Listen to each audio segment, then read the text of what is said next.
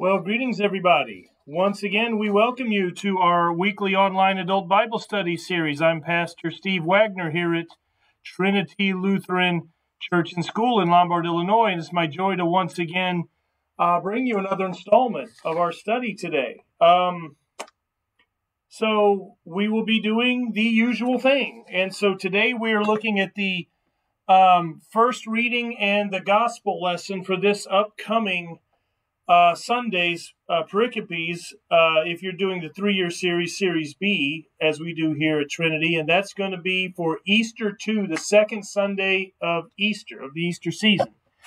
And the two texts we're going to be looking at today comes to us from Acts chapter 4 and from John chapter 20. Acts 4, John 20. So, to kick us off, as usual, let's go ahead and take a look at our theme. So, this is our theme this week. The Holy Spirit causes the gospel to unify and grow the church. So, the gospel unifies and grows the church, and it's done by the work of the Holy Spirit working through the gospel the Holy Spirit causes the gospel to unify and grow the church. All right. Well, let's dive right into it. Uh, firstly, as you might have noticed if you've been uh, following lectionaries, uh, during the Easter season, typically there is no uh, Old Testament lesson uh, the first reading, there's a first reading instead, and it's from the book of Acts. I mean, there isn't anything in the Old Testament that would talk about the aftermath of the Easter resurrection of Jesus, but that's exactly what the book of Acts is about.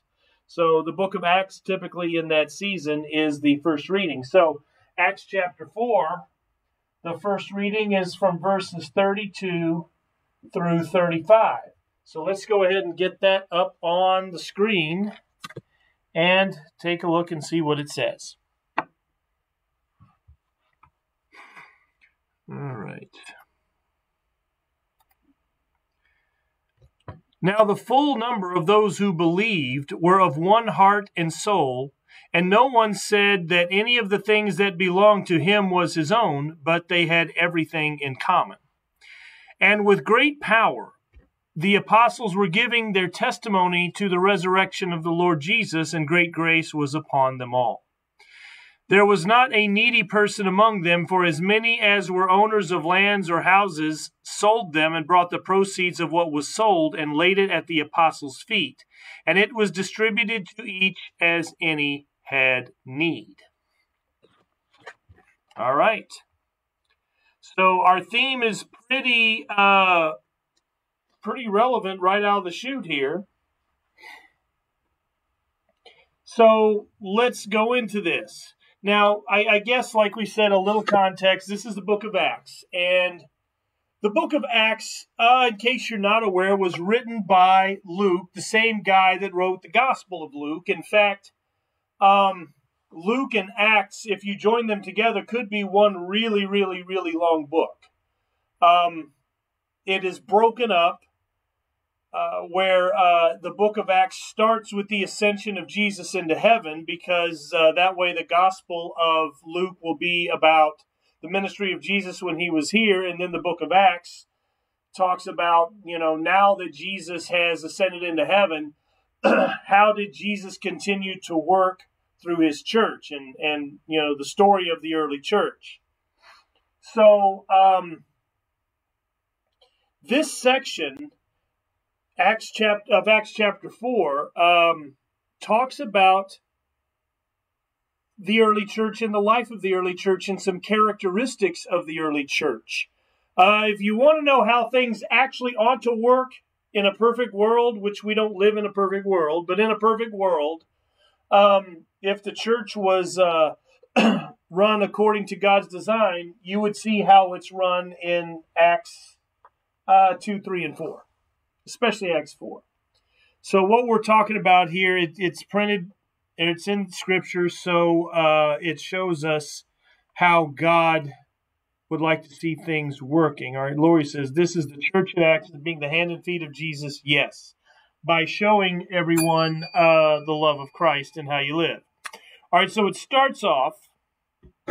It says that the full number of those who believed were of one heart and soul.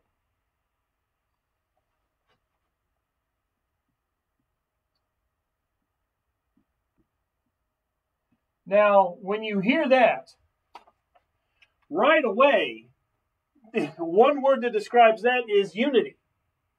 And so we see how what the, the thing about this uh, passage that we're looking at today is how unified uh, the church was. And again, that's the work of the Holy Spirit working through the gospel. So the church is unified. And of course, um, throughout the book of Acts, you see tremendous explosion and growth of the early church. And so that'll be the growth that the Holy Spirit brings. Here you're seeing the, the unity, the life of the church, and how unified they were. So, according one heart, one soul. So, according to God's design, there are to be no divisions within His church. And when we say no divisions, we mean no divisions of any kind. No divisions according to age. There should be no divisions according to social status. There should no be no divisions according to economic status. No divisions according to race or, race or ethnicity. No divisions according to gender, per, physical appearance, or any other dividing issue. So, no divisions means uh, things like that just simply don't matter. Because you know when the holy spirit is at work in our hearts and we're with other brothers and sisters in christ uh, who cares what their age is? Who cares what their financial status is? Who cares what their race is? It doesn't matter because the holy spirit causes us to love everyone. Now one of the interesting things about it also no divisions um, that would also mean no divisions in terms of doctrine um, but you see how, you know, a Holy Spirit driven church tries to operate in a sinful world like we have. Um, you see all the different denominations within Christianity and Americanism today. And, you know, every Christian denomination that professes Jesus as Lord and Savior over sin and death. Uh, these are filled with heaven bound believers and brothers and sisters in Christ uh, throughout denominational lines. There are differences between the churches, um, and it's not like the differences are inconsequential, but at the same time, these differences don't necessarily disqualify other folks um, from the kingdom of, of God. But, you know, it's funny how, you know, again, God's design will work great as long as there's no sin. But yet this is this is what God wants. And if you notice something that you'll notice it's all throughout Scripture, the Holy Spirit has a way of unifying. It is the sinful nature that divides. The Holy Spirit unifies, and the sinful nature divides. And so the first thing you notice about the early church is there was no divisions between them. They were unified in every way you could think of it says that they shared everything they had. Uh, what's the exact verbiage? No one said that any of the things that belonged to him was his own, but they had everything in common. Okay, so they shared everything. Everything in common.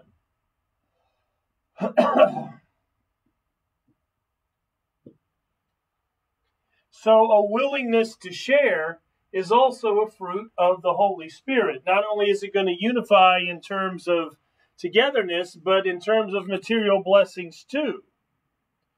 Um, the Holy Spirit causes people to understand that the stuff that we own isn't actually ours in the first place, but rather the stuff that we own um, God gave to us, and God intends us to use it for uh, His uh, bidding and according to his will, that would be a tremendous platform for a good stewardship conversation within the church.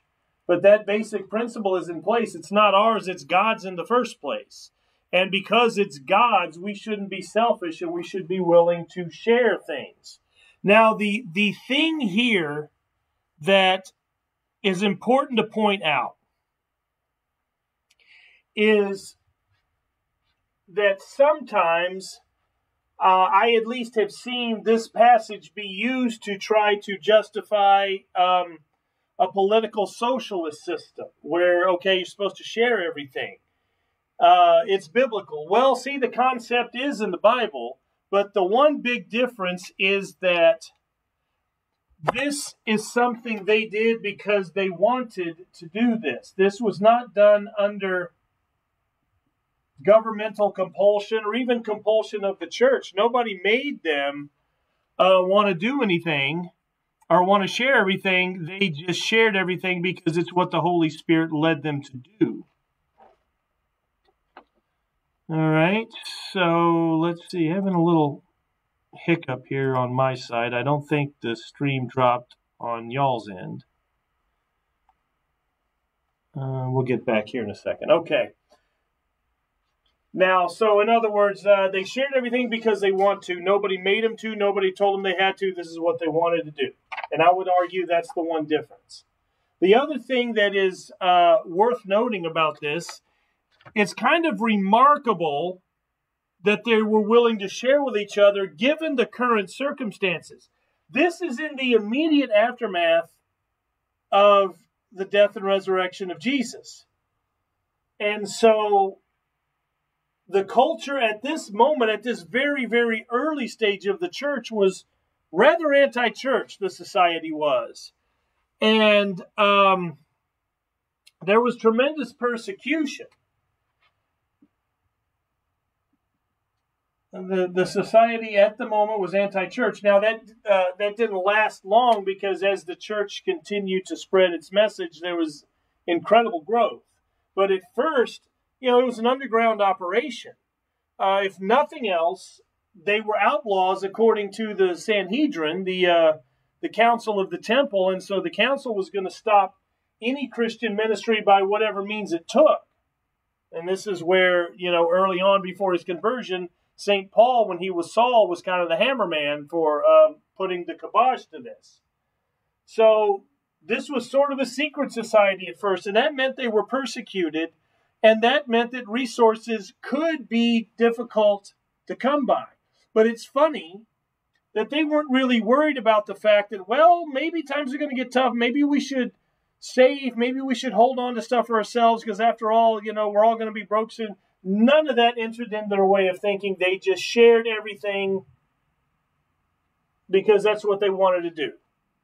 So, this is what the Holy Spirit, this is the attitude that the Holy Spirit will instill when the Holy Spirit is at work.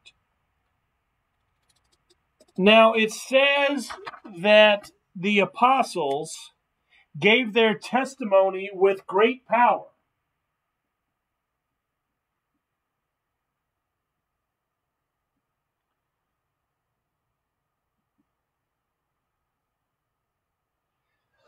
and yes, these apostles are the apostles from the gospel lessons. There are 12 of them.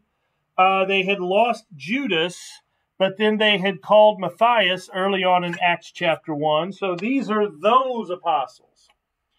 And it says that their preaching of Christ and Him crucified was having this kind of impact. Now, here you go with the gospel being brought into it, the Holy Spirit's doing the work. The end result is unification, but the means is this gospel. The apostles were preaching the word of God, and it was having tremendous impact on the early church. It was feeding this unification and these healthy Christian attitudes that we're talking about here. All right. And it says that grace was upon them all.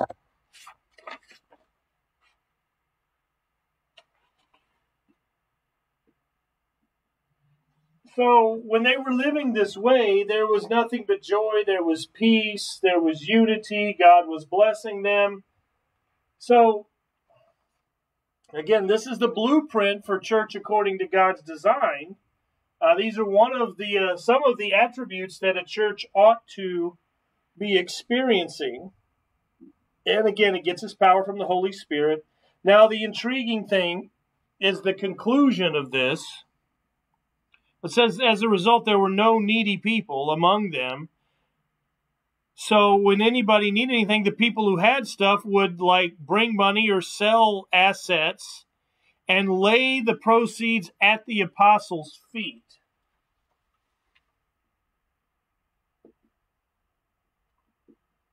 Which also is remarkable. Because that meant that the people were fully trusting in the apostles to do the right thing with the donated funds in the proper way. Now remember, the apostles were the first pastors of the church. And it, it all, uh, you know, the Acts the Acts 2, Acts 3, Acts 4 church that's depicted in Scripture always amazes me. Um, you know, again, when this design here is what's going to happen when the Holy Spirit is at work, the Satan and the sinful nature always steps up to try to kind of put the block down to this to disrupt this. But could you imagine this complete level of trust? And of course, for that to be the case, then the apostles, i.e., the pastors, would have to have earned the complete level of trust. But, you know, in this day and age, pastors are sinful. They do stuff that they shouldn't do. Parishioners are sinful. They do stuff that they shouldn't do. Um, and so, as a result, like here at Trinity, nobody fully trusts me with all of this stuff, and nor should they, because I'm sinful. Uh, so this is why we have not only me, but me as part of the church council with all of the different chairmen and chairwomen from the various boards. And we all get together, we pray for God's guidance, and collectively we make such decisions. But, you know, if there was no sin interfering, you know, it's funny how that wouldn't be necessary. all right, so you see the Holy Spirit at work, working through the gospel, and it has this unifying uh, component to it. And then again, as Acts progresses, you would see how it ended up growing the church as well. Well, actually, uh, the growth started in Acts chapter 2 at Pentecost. Uh, Peter's sermon caused 3,000 convert. Uh, the gospel, the Holy Spirit working through Peter's sermon caused 3,000 uh, conversions that one day alone. All right. So the Holy Spirit at work through the gospel in the early church. Now, let's step over to the gospel lesson of John chapter 20. now, this, if you've been a Lutheran for a while, this lesson is going to be one that is, you know, you're going to know this one. This one is going to be familiar to you. it's commonly used in Lutheran teachings uh, for certain things like we're going to talk about here. For example, the office of the keys, the doctrine of ordination, and so forth. but one thing I noticed, it is one of the very few uh, gospel lessons or texts that is in all three years of the lectionary. Now, there are some. Um, there are some uh, uh, church festival days, like for example the Reformation, it's the same three texts every year. Well, in Easter 2, there is a different first reading, there's a different epistle, but in Easter 2, in all three years of the lectionary cycle, John 20 is the gospel lesson in all three years. And I believe that's the only one where uh, it's the constant of the three the other two will change, but this verse is the constant, and that means there's a lot of you know good stuff to be said in it. So with that in mind, let's go ahead and pull it up and tear into it. We're actually going to break it up into two sections. First, actually, let's look at verses 19 through 23 of John 20. On the evening of that day, the first day of the week, with the doors being locked where the disciples were for fear of the Jews, Jesus came and stood among them and said, Peace be with you. When he had said this, he showed them his hands and his side. Then the disciples were glad when they saw the Lord. And Jesus said to them again, Peace be with you. As the Father has sent me, even so I am sending you. And when he had said this, he breathed on them and said to them, Receive the Holy Spirit. If you forgive the sins of any, they are forgiven them. If you withhold forgiveness from any, it is withheld. Okay. Uh, that one may be familiar. There's a lot of really great stuff in there. So let's take a look at it. So, first, it mentions that this is the first day of the week. And we can glean from that that this happens in late afternoon, early evening of the first Easter. So this is the day that they discovered the empty tomb. And it says that the doors were locked for the fear of the Jews. All right, now understand here.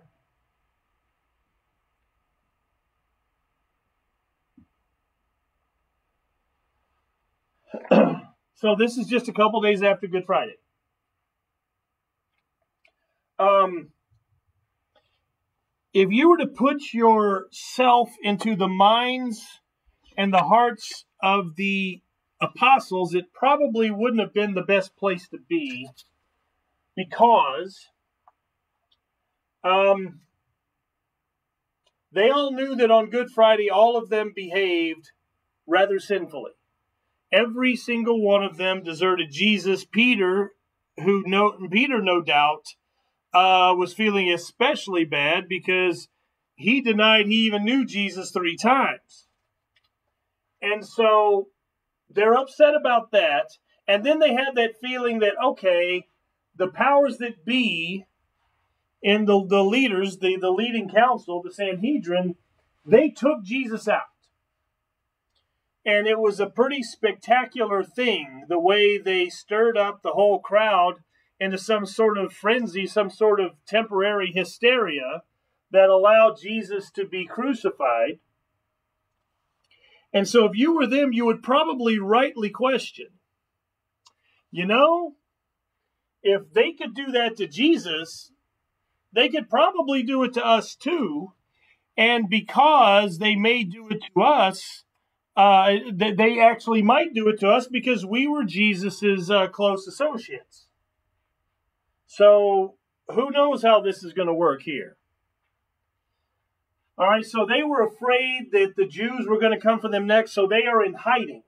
They are locked away in hiding. But then something weird happens. Jesus came and stood among them.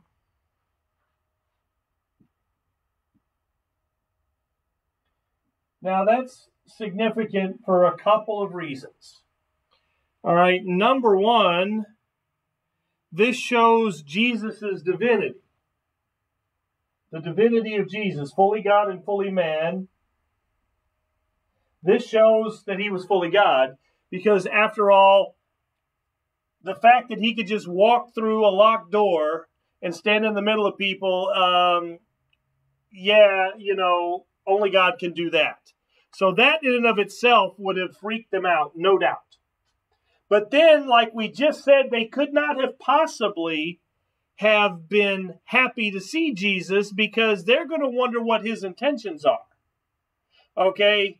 They know what they did on Good Friday, and uh, it's like, oh crap, he's here. He's probably coming to punish us. He's going to zap us into dust because that's exactly what we deserve. So they could not have been happy to see Jesus at first. So that was probably a terrifying moment for them. But when Jesus appears in the room, the thing that Jesus says, of all the things he could have said, and of all the things they were afraid he might say, Jesus says, Peace be with you.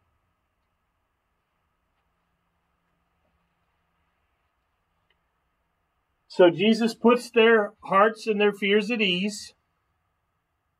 He declares that he did not come in judgment, but he comes in peace. Now, the thing is, how is one at peace with God? One is at peace with God through forgiveness. God forgiving the sins of the world, God forgiving your sins, and he forgives your sins through repentance and faith. So, Jesus is saying, Look, I know you guys are uptight about how you guys acted on Friday, and you guys ought to be because you guys did me wrong, but I forgive you. I forgive you. Peace be with you. My peace be with you. You are forgiven. I'm not here for judgment. I am here in peace. And so that no doubt um, made them feel infinitely better. And then he does something weird. He shows them his hands and his side. Now remember, the hands still had the nail marks from when he was nailed to the cross. And the side, you might recall, the uh, to make sure he was dead, they pierced him in the side with a spear. So he's got the hole in the side, the holes in the hands. And so he's showing them his hands and his side. And that very simply was proof. It's proof that it really is me. Okay, this isn't an imposter. This isn't a joke. This isn't a game. I'm not a ghost, by the way. I'm fully bodily alive. And yet I'm proving it to you and I'm showing you the marks because that way you know that it's truly me. Now, not only though was it was more than just proof, it was also showing them the basis of their forgiveness.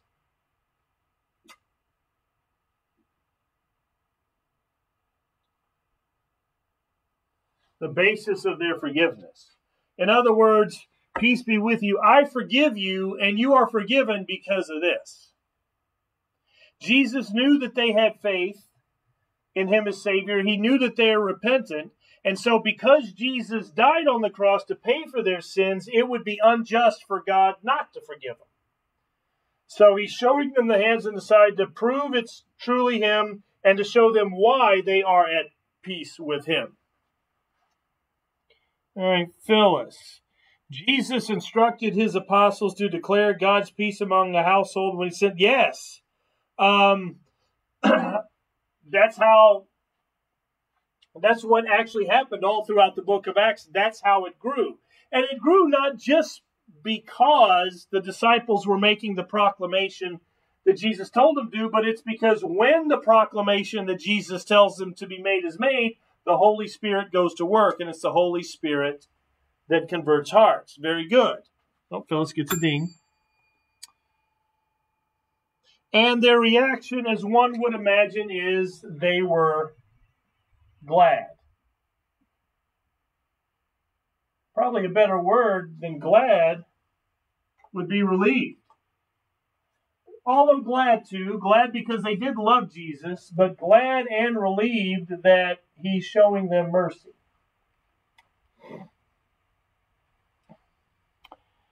Uh, then Jesus starts saying some stuff that's pretty doggone important.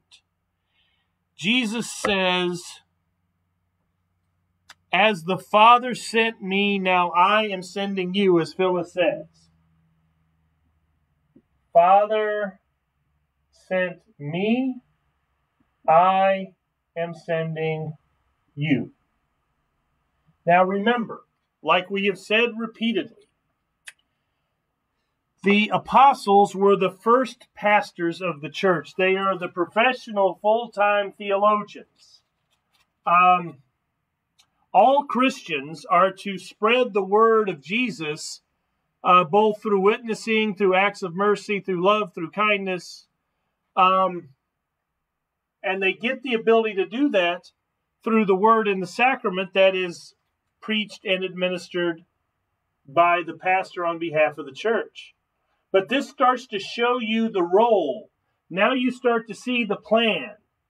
Okay, pastors are sent by Jesus to do a job.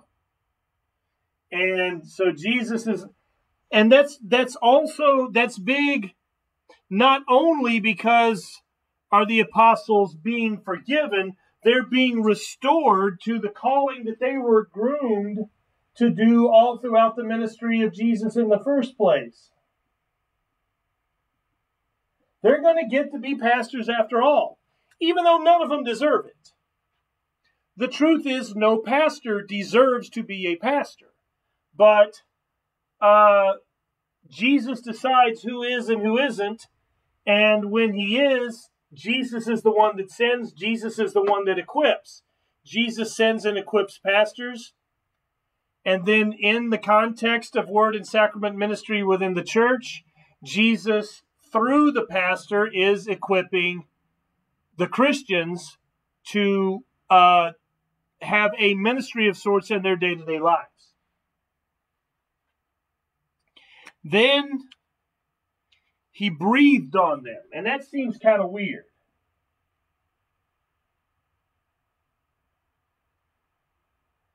What's that about? Well, it's really not so weird if you think about it. In Genesis 1, when man was given the gift of physical life through uh, from God, it was God breathing the breath of life into man's lungs. So now we're not talking about physical life being given, but we're talking about spiritual, eternal life being given. So it's perfectly, it makes perfect sense if you compare it to Genesis 1 that God would be breathing life into people. That's what he does. So this is Jesus breathing isn't so strange after all if you stop and think about it. And then he says, receive the Holy Spirit.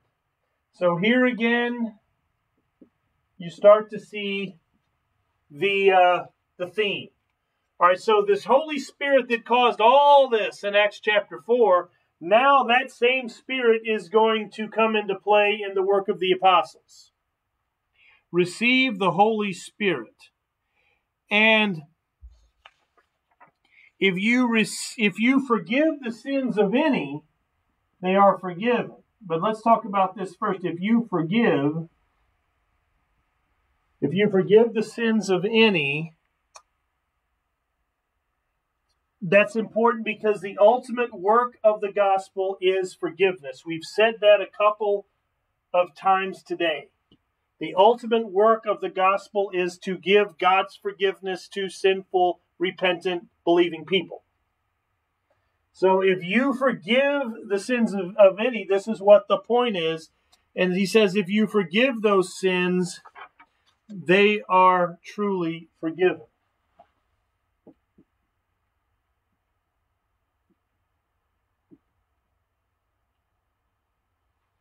They are forgiven. That pass that's that point, that verse, that statement cannot be understated. Um, this talks about something known as the so called Office of the Keys in Lutheran theology. Uh, comes from Luther's Small Catechism. We teach this to our uh, eighth graders. Um, why Office of the Keys? Well, there's references of keys uh, when this is discussed in Matthew 16. But here, uh, same thing a door, imagine a door being locked. If you have a locked door, the only way through a locked door is with a key. The key unlocks the door. Well, imagine the door to heaven being locked to us because of our sin. And there's no way to get in unless you unlock the door. And the only key to unlock the door is forgiveness. The forgiveness of sins is the only way into heaven, but it's the key that unlocks the locked door. The forgiveness of sins. So it's referred to in Lutheran theology as the office of the keys. The, um, the office of the keys is that special authority given by Jesus to the church to have the, sin, the forgiveness of sins distributed so that heaven would be unlocked to these repentant, believing people. And of course, a church calls an ordained pastor to um, do the unlocking on their behalf, to do the preaching, to do the administering of the sacraments on behalf of the church. Lori says, being the given the keys to the kingdom was a symbol of honor. And, you know, the context of being entrusted with such a thing in, you know, a kingdom in terms of like actual castles and stuff, yeah, that was a big deal because they didn't just give the keys to just any old schmuck, you know. This guy, the person had to be, you know, trustworthy and had to be honorable. But you know what? The same thing should be viewed and said as it is um, to the office of a pastor. It is actually a tremendous honor. It's an honor of which I am by no means worthy of doing.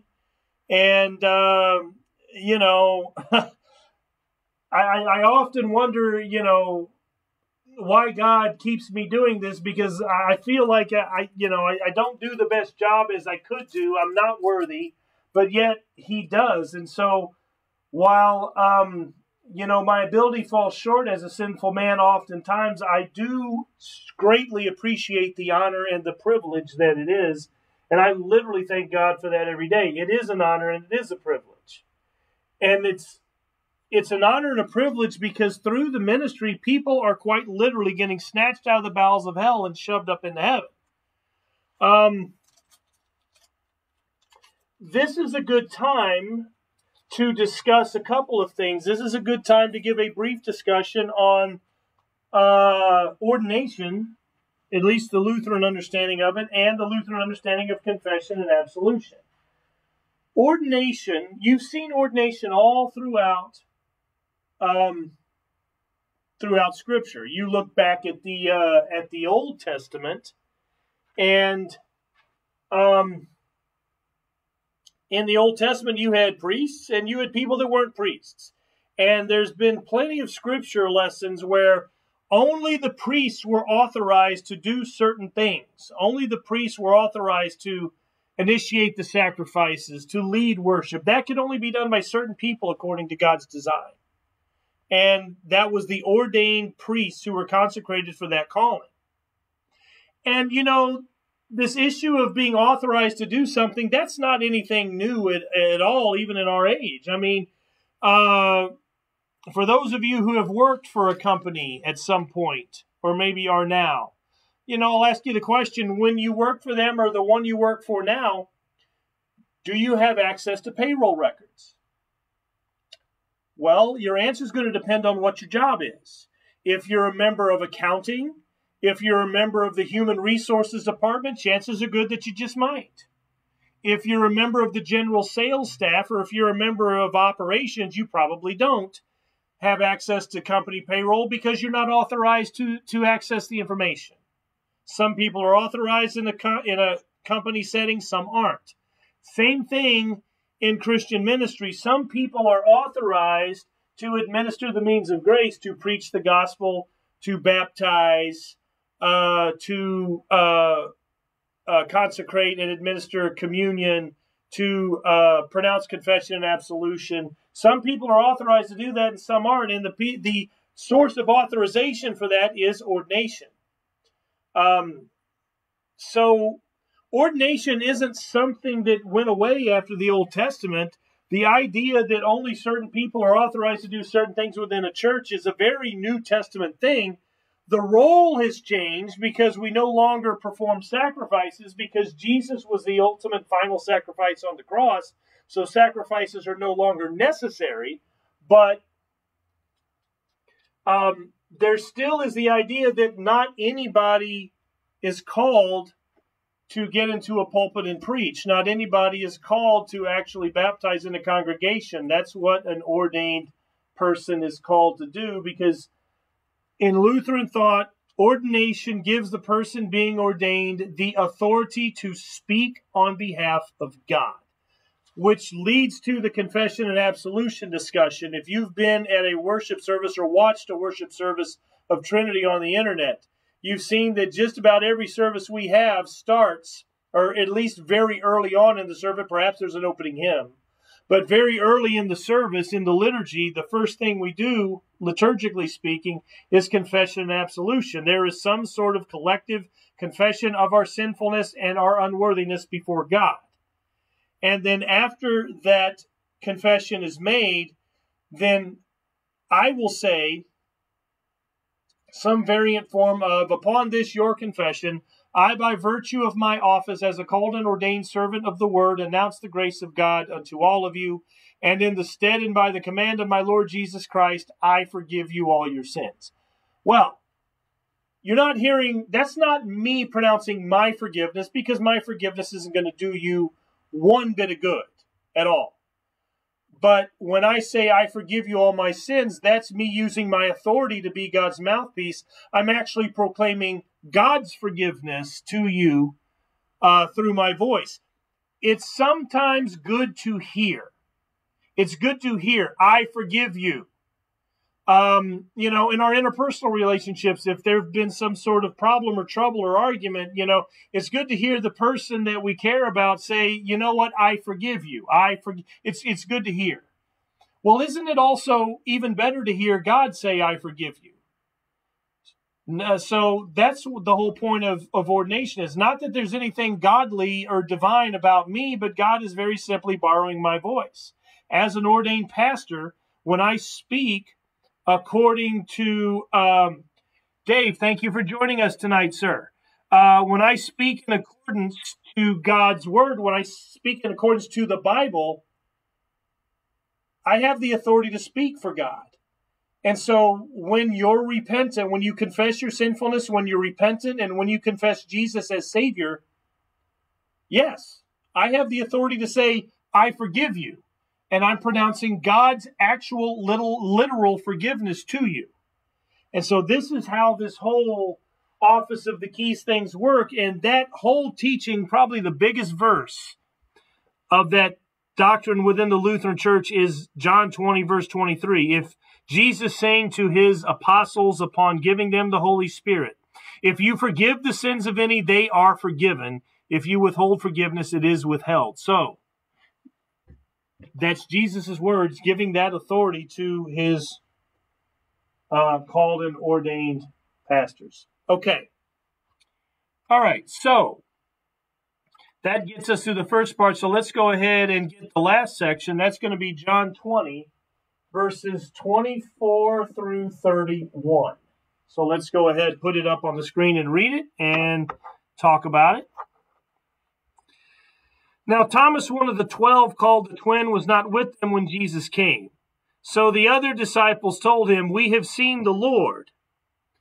But he said to them, Unless I see in his hands the marks of the nails, and place my finger into the marks of the nails, and place my hand into his side, I will never believe. Eight days later, his disciples were inside again, and Thomas was with them. And although the doors were locked, Jesus came and stood among them and said, Peace be with you. Then he said to Thomas, Put your finger here. See my hands. Put out your hand and place it in my side. Do not disbelieve, but believe. Thomas answered him, My Lord and my God. Jesus said to him, Have you believed because you have seen me? Blessed are those who have not seen and yet have believed. Now Jesus did many other signs in the presence of his disciples, which are not written in this book.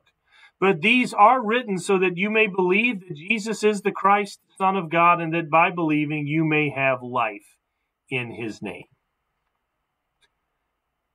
It's always an enjoyable passage to read. Okay. So when they came the first time, when Jesus came the first time, which is what we looked at here, Thomas wasn't there. Who knows? Maybe he was out at the 7 Eleven getting him a Slurpee or something, but he wasn't home. Which is kind of odd because they were in hiding, but nonetheless, he wasn't there. So now he's there, and they say, Yo, we saw Jesus. He's actually alive. Isn't that great? And he's like, Yeah. Unless I actually see with my eyes the marks in his hands that Jesus showed him last time, you remember, or uh, the nail, the, the hole in the side from the spear, unless I see all that, I'm not believing that. You guys are crazy. So while the other disciples struggled with fear, Thomas was wrestling with doubt. These are things that the sinful nature causes, among others.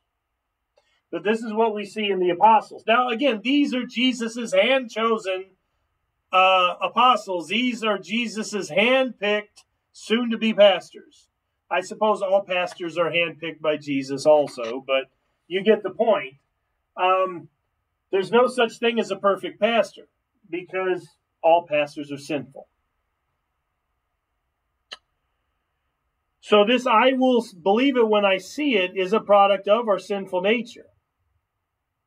So, like last time, Jesus came and stood among them.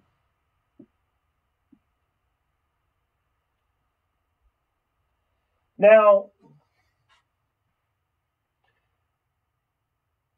like we said last time, the fact that Jesus is able to roll in through locked doors and stand in the middle of them, that shows them that Jesus is, uh, is truly God. And you see the same thing here. But the thing that's cool to take note of here is the fact that Jesus came to Thomas Jesus is here specifically to address Thomas's doubt. You've heard of doubting Thomas in the Bible. Um, this is where that came from.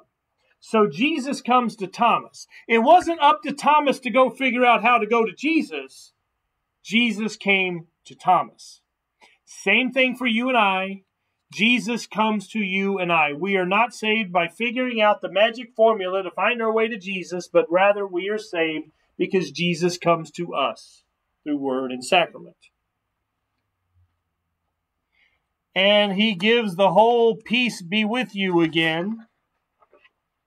Again, there's some repetition, but just uh, as Jesus forgave, that was Jesus pronouncing his forgiveness of the sins of the other apostles for the way that they acted on Good Friday. Jesus is now forgiving Thomas for his doubt. And the the perhaps obvious point still should be restated, and that is the fact that even fear and doubt can and is forgiven. Now, said repeatedly, repentance plus faith equals forgiveness. Um, and repentance and faith are products of the Holy Spirit. So, um, when when one is repentance, a repentant believer, one will always be forgiven. So the fact that Jesus came and forgave Thomas shows that he was a repentant believer. Now he had an extreme amount of doubt at the moment, and um, you know, kind of toeing the line towards unbelief. Robert, better late than never, sir. Thank you. Um, he was stepping towards the dangerous line of unbelief, but he hadn't crossed it yet, and God forgave him. So God forgave his apostles. God forgives me. God forgives you in Christ. All right, so peace be with you, he says. And then he, he, he this is also, you know, amusing. There's just so much, so much that's amusing about this text to me. Uh, he says to he says to uh, Thomas, "Put your fingers in here." So he shows it. Where, where's the exact verbiage? Um, verse twenty-seven. He says to Thomas, "Put your finger here. See my hands. Put out your hand and place it in my side." Um, that, of course, is in what response to Thomas saying, Well, I got to see the holes before I'll actually believe that. Now, again, to me, this shows Jesus' divinity. Jesus wasn't there when Thomas said those things, but he knew about it. And so, again, this is a reminder that Jesus does know all. And so he invites Thomas to do like he said it would take to get him to believe. And then Jesus says, Do not disbelieve, but believe.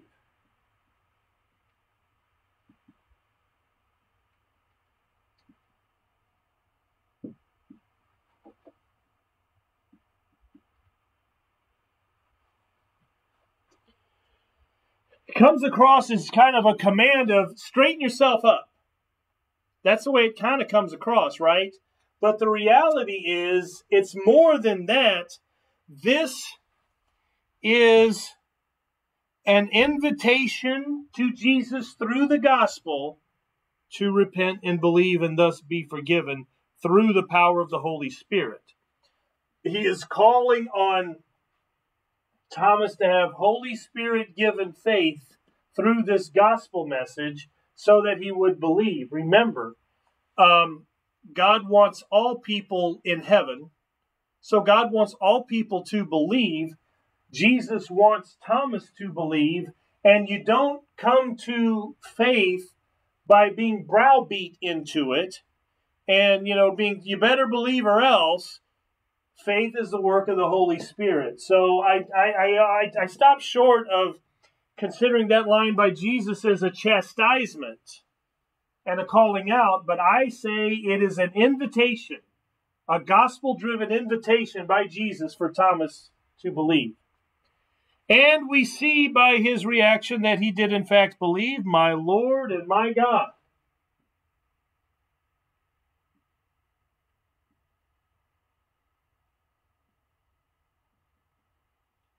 My Lord and my God. That is a confession of faith in Jesus come that came through the Holy Spirit and forgiveness in Christ. So we see this forgiveness. It gives peace and it creates faith. So you're starting to see how our text now bleeds over into here. There is something unifying about the gospel. There's something unifying about the forgiveness of sins. It's drawing the apostles back together. There was a division here. But now Thomas is in the fold because this is what the Holy Spirit does through the gospel it unifies. You know, hence the whole term communion, the communion of saints, the oneness of saints, the collection of the saints, all anchored on the gospel because the gospel unifies. The sinful nature divides, the gospel unifies. And then Jesus says, Are you believing because you have seen me? Well, blessed are those who have not seen and yet believe.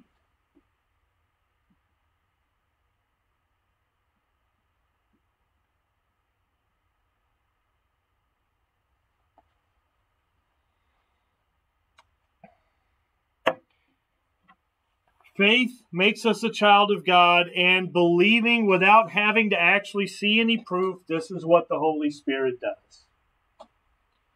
And then I really enjoy the last two verses of this gospel. Starting in verse 30. Now, Jesus did many other signs in the presence of his disciples, which aren't written in this book. And that tells you, you know, the Bible is not here to tell us everything there is to know but the Bible is here to tell us everything we need to know in order to get to heaven. But these that have been written are written so that you would believe that Jesus is the Christ, the Son of God, and that by believing you have life in his name. So there you see the uh, the work of the gospel. These things are written so that you would believe. The purpose of the word of God is to create faith. Because that's what it does, because the Holy Spirit works through it.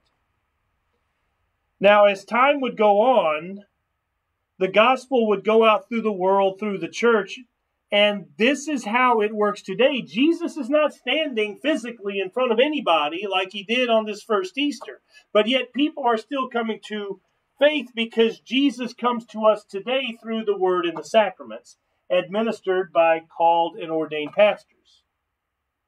Uh, uh, office of the keys. By believing you would have life in his name. So the work of word and sacrament creates faith, and faith gives eternal life. that's the intended outcome of the ministry that Jesus has called pastors into because that's what God wants eternal life for all. And uh, the means of grace, the so called means of grace, the means by which that happens, word and sacrament, occur in the church. And in the church, uh, they are administered on behalf of the church by an ordained pastor sent by Jesus to the congregation. So, in summary, now that Easter has come and Jesus has risen from the dead, Jesus gives his power to save to his uh, to the word and the sacraments. He puts his power in the word and sacraments for the church to preach and administer. And the Holy Spirit works through these means of grace.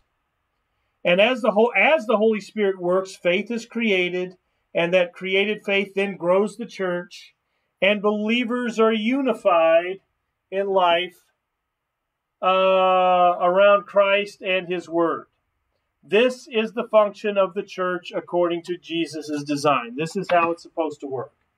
So here you see the unifying power of the gospel, Holy Spirit working through the gospel. Here you see how the unifying Holy Spirit and gospel gets out through called, flawed men uh, proclaiming word and sacrament, and through that word and sacrament, uh, people are saved. All right. Very good. Well, again, we thank you for joining us. It's always a pleasure of mine to spend this time with you on Wednesday evenings. I appreciate you joining us. I I hope that if you enjoy these uh, shows, you would share these uh, videos with other people so that they can, uh, you know, learn more about the Lord and grow in their walk in the Lord and tell others so that we can grow our viewership and, you know, continue to uh, join us. Uh, pray for the ministry here at Trinity and um, continue to watch. We we very much enjoy your viewership. So with that, uh, we'll go ahead and call it a night. The party's over, as they used to say back home. Um, but we'll be back next Wednesday, and of course, don't forget, as always, uh, Sunday morning at 9 9 a.m. Central Time, we will live stream our worship services where these texts will be the basis of the service. So, with that, I pray God's richest blessings in Christ Jesus upon all of you. I thank you for joining, and I hope to see you next week. May the Lord very richly bless your day.